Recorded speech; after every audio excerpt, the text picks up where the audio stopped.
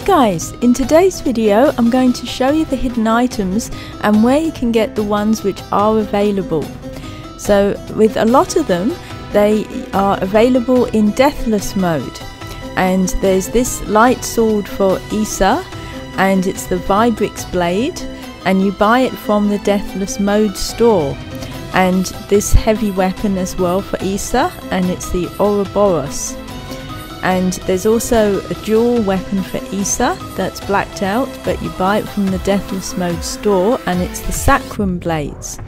She also has a shield and this actually makes up the Aegis set, a Diorton brace and a helmet which is the Samus helmet and her armour which is the Aegis armour and you get all of that from the Deathless Mode store.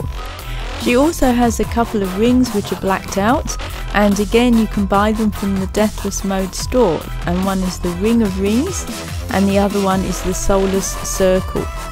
So turning to Cyrus and his Deathless Mode items are this light sword which is the Axis sword and a heavy weapon which makes up part of the Yhurle set, it's the Yhurle axe and also these dual blades which are the iron rod.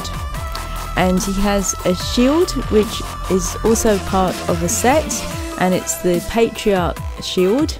And it matches with the helmet the cyclopian helmet and also his armor which is the disc armor.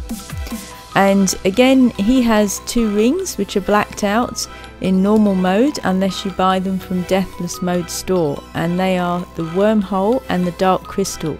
Now check out this video for details about the prices and the XP of that equipment.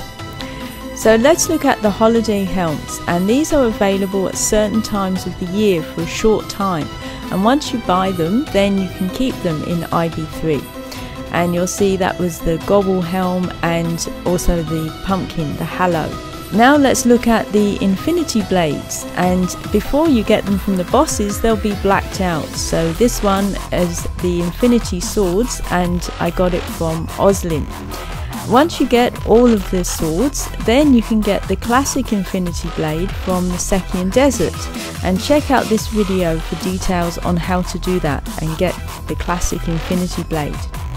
And lastly, there's a few unobtainable items not yet available, and it's these dual blades for Isa and her shield, and also a heavy weapon for Cyrus, which is obviously the Anachrax from IB2, and he also has a shield which is unobtainable, and that's obviously the Stod shield from IB2 and we've been told that they, those four items will be prizes in future Aegis tournaments. Thanks for watching TamL Channel, your favourite channel for Infinity Blade. If you enjoyed it, please like, comment and subscribe to my channel and check out my social pages and my website tamlchannel.com. Thanks, see you next time.